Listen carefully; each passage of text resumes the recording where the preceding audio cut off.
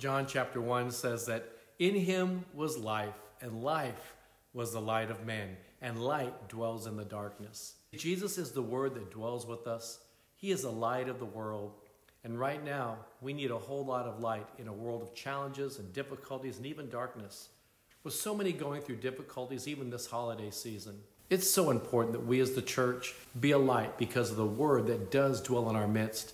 We have a joy and a strength beyond human comprehension.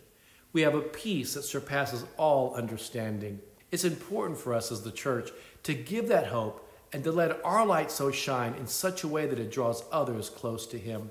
Matthew 5:16 says, "Let your light so shine before men that they may see your good works and bring glory to your Father in heaven." You see, we need to be an example to those around us of faith and hope and peace and joy in the midst of even difficult times. You see, the light has come. The four weeks leading up to Christmas is known as Advent. And during this season, many people personally and intentionally prepare to celebrate the birth of Jesus, the fulfillment of the promises of his manifest presence, with the expectation of his second coming.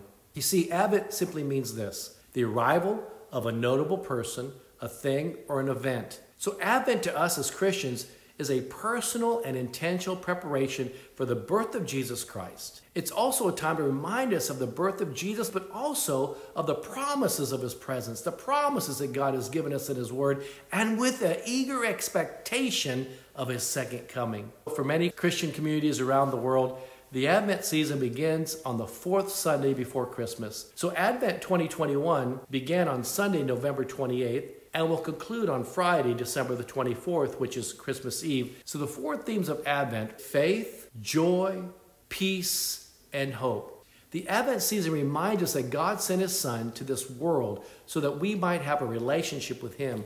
And yet, Jesus also suffers with us and helps us to navigate even through our pains and our challenges. When so many are suffering, so many are going through difficulties, and maybe you're one of them. I want us to be reminded during Advent, we can also celebrate and reflect on Jesus' promises, not just of his birth, but of all of his manifest presence, his word and his promises, because God's word dwells in our midst. And also this expectation of the future that no matter what we've been through, God is leading us to a place of delivering us from where we've been to a place of where He wants to take us. And ultimately, we have an eternal promise with the Lord. So during Advent, we celebrate the miraculous birth of Jesus, the light of the world. I love what the word says in John chapter 8, verse 12. Then Jesus spoke to them, saying, I am the light of the world.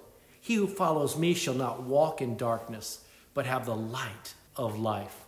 This is an exciting thing in time for us because God is the Word, and He loved us so much that He gave Himself to us that we might live in this world, but not be of this world. Jesus said if we follow him, then we don't have to walk in darkness because we have light. We can still let his light shine in us to a world of darkness. And right now, we need the themes of Advent. We need to remember the promises and the great miracles of God, of what he has done, what he will do and continue to do, the great miracles God is doing, and the great miracles God will continue to do in your life and through your life in His church and through His church. We need to share our hope, faith, joy, and peace because the light has come into the world and the Word dwells in our midst. So I want to say to you today, Merry Christmas. And as you enter in this new season, don't just look at where we've come from, but have an expectation of where we're going.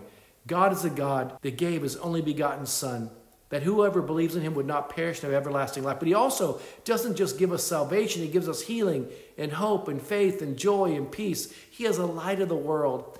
In him is light, in him is no darkness. And in and through him, he gives us his life and his light, that his light would shine in us and through us. I don't know what all you've been through these last couple of years, but I know this one thing that Jesus is still Lord, and he's still the King of kings and Lord of lords, and he still sits at the right hand of the Father.